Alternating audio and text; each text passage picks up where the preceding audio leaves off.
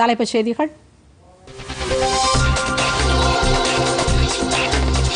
சாத்தூர் பட்டாசு ஆலை விபத்தில் உயிரிழந்தோர் எண்ணிக்கை பதினொன்றாக அதிகரிப்பு. காயமடைந்த முப்பத்தி ஆறு பேருக்கு மருத்துவமனையில் தீவிர சிகிச்சை. உயிரிழந்தோர் குடும்பத்தினருக்கு பிரதமர் நரேந்திர மோடி உள்ளிட்ட தலைவர்கள் ஆழ்ந்த இரங்கல். மத்திய மாநில அரசுகளின் சார்பில் நிவாரணம் அறிவிப்பு.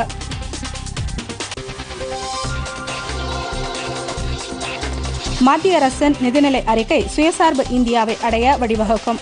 நீடித்த வளர்ச்சியை உறுதி செய்வதே அரசின் நோக்கம் என்றும் பட்ஜெட் விவாத பதிலுரையில் நிதியமைச்சர் நிர்மலா சீதாராமன் விளக்கம்.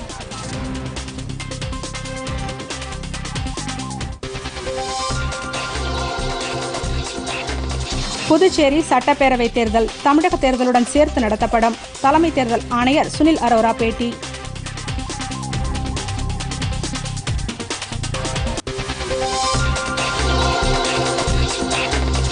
விவசாய பம்பு செட்டுகளுக்கு இருபத்தி நான்கு மணி நேரமும் மும்முனை மின்சாரம் வழங்கப்படும். முதலமைச்சர் எடப்பாடி பழனிசாமி அறிவிப்பு.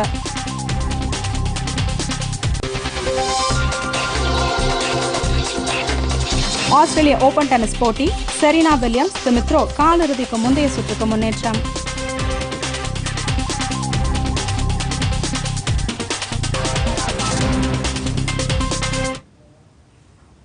பொதிகை செய்திகளை யூடியூபில் தமிழ் நியூஸ் தூர்தர்ஷன் என்ற சேனலிலும் முகநூலில் டிடி பொதிகை நியூஸ் என்ற பக்கத்திலும் ட்விட்டரில் டிடி நியூஸ் சென்னை என்ற பக்கத்திலும் இன்ஸ்டாகிராமில் டிடி பொதிகை நியூஸ் என்ற பக்கத்திலும் காணலாம். மேலும் உங்கள் கருத்துக்களை Podhigai DD news at Gmail dot com என்ற மின்னஞ்சலில் தெரிவிக்கலாம்.